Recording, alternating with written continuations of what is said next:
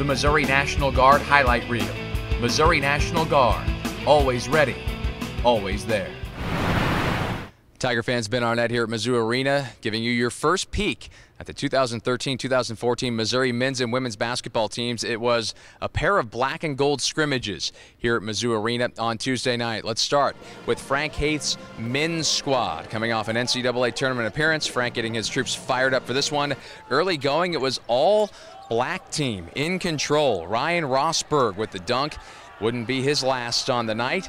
The black team jumped out to a 10 3 lead. This is Jordan Clarkson, the Tulsa transfer, with the runner. Not a bad way to start off his first year of eligibility with Mizzou. Then off the steal, the black team gets it back, and it'll be Jonathan Williams III. J3 cleans up a miss and dunks it home. Beginning of a big night for J3. The gold team responds though. Earnest Ross off the steal. Takes it in to put the gold up by a point just before halftime. Remember, I said Ryan Rosburg would be back. There he is with another slam. He finished with 16 points and eight rebounds. Black led by a pair at the half. Second half, more J3. First, the dunk. He had eight points. Then the D. One of his two blocks for Jonathan Williams III to go along with 11 rebounds.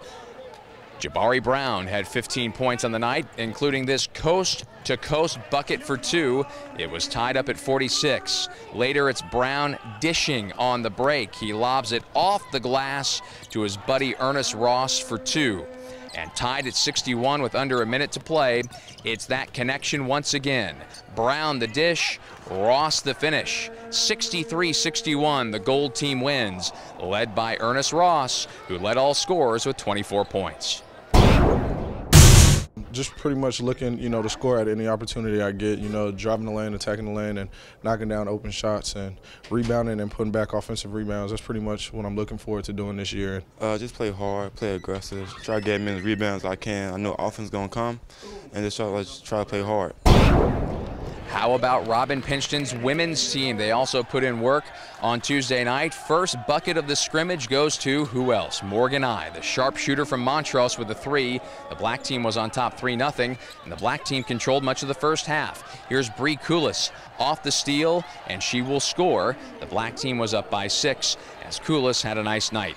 It was a close game down the stretch. Second half, Bri Kulas responds. She hits a three of her own that puts the black team back up by a point with about one minute to play.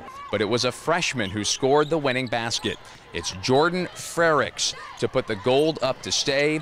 Gold wins 29 26, and Coach Pingeton saw plenty to like in her team's first scrimmage a lot of positives. I mean, we're those shots, a lot of shots. We're right there, rolling off the rim. Uh, defensively, we got to get better. But playing against yourselves is always tough too, and they've been doing that all summer long into the non or into the preseason. But definitely a lot of stuff to work with. Great night for both the men's and women's basketball teams. Want to remind you we've got a great event coming up the night before the homecoming game, Friday, October 25th.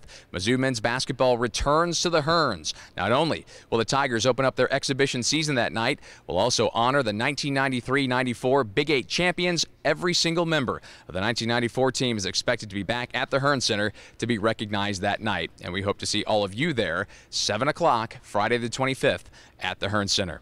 At Mizzou Arena, I'm Ben Arnett for the Mizzou Network.